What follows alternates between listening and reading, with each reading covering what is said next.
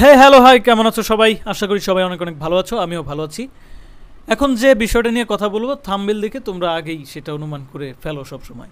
যাই হোক, তারপরেও বলি, সেটা হচ্ছে যে সানি দেওয়াল দীর্ঘ সময় পরে তার দর্শকদের জন্য নিয়ে এসেছে গাদার টু। এটার জন্য অনেকেই ওয়েট করতেছিল, খুব মানে খুবই খুবই খুবই এক্সাইটেড ছিল সবাই। কারণ কি? কারণটা হচ্ছে যে এই সানি দেওয়ালের দীর্ঘ সময় পর কিন্তু এই গাদার টু দ্বারা অন্যরকম আরেকটা কামব্যাক হতে যাচ্ছে। সানি দেওল বাংলাদেশের অ্যাক্টরদের তুলনায়, আমি যদি তাদের সাথে কম্পেয়ার করতে যাই যে সেখানে দেখা যাবে যে আমাদের দেশের যারা এই বয়সের আছে, আমি সবসময় এটা বলি, তারা কিন্তু এখন হারিয়ে গিয়েছে। বেঁচে আছে, এমন যে মরে গেছে বাট বেঁচে আছে কিন্তু সিনেমায় কাজ করছে না। হ্যাঁ কিন্তু সেই সেই জায়গায় আসলে সেই জায়গায় ইন্ডিয়ার যারা আছেন মানে বলিউড, টলিউড, এরা কিন্তু তাদের অ্যাক্টিংটাকে মৃত্যুর আগ পর্যন্ত মানে দর্শকদেরকে উপহার দিয়ে যায়, উপহার দিয়ে যায়। তাদের, এটা পারার একটা নির্দিষ্ট কারণ আছে, সেটা হচ্ছে যে তাদের ভিতরের ডেডিকেশন, তাদের যে একটা হার্ডওয়ার্কের যে একটা পিপাসা মানে আমি এটাকে পিপাসা বলতেছি, যাই হোক, আকাঙ্ক্ষা যেটাই বুঝেন আপনি, তো সেটা অনেক বেশি পরিমাণে থাকে। আর বাংলাদেশের ক্ষেত্রে হয় কি যে একটু বেশি বয়স হলে যখন একটু শরীরটা একটু মুটিয়ে যায়, ই হয়ে যায় হ্যাঁ নিজের মধ্যে অলসতা চলে আসে হ্যাঁ ডিপ্রেশন কাজ করে, বা মনে হয় যে না, এই অনেক তো করলাম আর কত এখন বয়স হয়েছে হ্যাঁ হ্যান ত্যান মানে আমি আর পারব না। এই ধরনের একটা ভাব যখন আসে, তখন কিন্তু অ্যাক্টরগুলো হচ্ছে হারিয়ে যায়। তো এই বিষয়টা বলিউডে নাই। এই বিষয়টা আসলে খুব ভালো লাগে আমার কাছে, বাট এই মুভিটা কি শুধুমাত্র এই কারণেই দর্শক দেখবে? যে অনেক বছর পর সানি দেওল কামব্যাক করেছে সানি দেওলের এখন কেমন অ্যাক্টিং আগের মতো আছে কি না সেই লাউড একটা অ্যাক্ট করা ওই যে দা- উম, আমরা তো দেখলাম ট্রেলারে দেখলাম যে আহ, যখন সে চিল্লানিটা দিল कैसे आजादी दिलाओगे तुम अगर यहाँ के लोगों को दोबारा मौका मिले ना ওরে সালা মানে মনে হচ্ছে যে সেই আগের সানি দেওল মানে কোনো চেঞ্জ নাই দুর্দান্ত আমার কাছে ভালো লাগে আমি এটা নেগেটিভলি বলতেছি না কিন্তু বাট সবাই কি শুধুমাত্র সানি দেওল শো হিসেবে বা তার কামব্যাক কেমন হলো সেটা দেখার জন্য দেখবে মুভিটা না, মোটেই তা নয়। কারণ হচ্ছে বর্তমানে সময় পাল্টেছে জেনারেশন অনেকগুলো চেঞ্জ হয়েছে সেই জেনারেশনের নতুন জেনারেশনের যারা আছে, তারা কিন্তু শুধুমাত্র সানি দেওলকে বেস করে মুভিটা দেখবে না। তারা কিন্তু এখন কন্টেন্ট দেখতে চায়। তারা কিন্তু দেখতে চায় যে কোন থিমের উপরে গল্পটা তৈরি করা হয়েছে। কোন থিমের উপরে আমরা মুভিটা দেখব বা এই মুভি থেকে নতুনত্ব কি দেখব আমরা? এই যে নতুনত্ব এই কথাটা আমি এতক্ষণ ধরে খুঁজতেছিলাম। এই নতুনত্ব কিন্তু এই মুভিতে আমি দেখতে পাইলাম না। কেন দেখতে পাইলাম না জানেন? এই একই থিমের উপরে, এই একই থিমের উপরে ইন্ডিয়া অনেক অনেক অনেক মুভি করতেই আছে করতেই আছে করতেই আছে। ভাই কিরে আর কত? মানে দর্শকদের তো নতুন একটা কিছু দিতে হবে। সেই পাকিস্তান ভারত পাকিস্তান ভারত।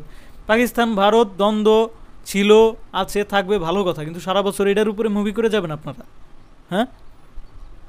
মানে আর কোনো মানে খায়া দেওয়ার কাজ নাই। এই একটা বিষয় আছে, পাইছেন। ক্রিকেট খেলার মধ্যেও ঢুকাই দেন পাকিস্তান, ভারত। তারপরে ইসের মধ্যে ঢুকাই দেন পাকিস্তান, ভারত। মানে মানুষের তো একটা টেস্টের পরিবর্তন হয়। আমরা তো এটা এন্টারটেইন হওয়ার জন্যই মানুষ সিনেমা দেখে। এই ঘুরে ফিরে গাদার টু করছেন, ভালো কথা। পাকিস্তান ভারতের সেই রেশ- রেশারেশি আবার দেখাইতে হবে।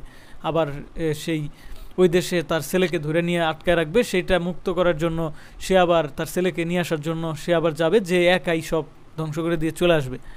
এই ধরনের মুভি তো অনেক আছে। কিছুদিন আগে আমি ওই যে একটা আপনাদের নতুন হিরো নাম কি? ওর, বাঘি থ্রিতে কে যেন কাজ করছে? টাইগার শপ টাইগার শপের মুভি দেখলাম।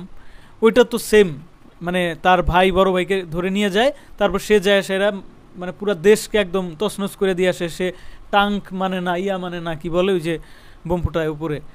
হেলিকপ্টার দিয়া, সেটা মানে না মানে একাই একশো একাই একশো না রে ভাই, একাই এক হাজার, একাই দশ হাজার, বুঝছেন? তো এরকম, এইটাও তো সেরকম মানে সানি দেওল যায় একাই মানে যুদ্ধ করে সবার সাথে। ওয়ান ম্যান আর্মি মানে যেটাকে বলে আর কি।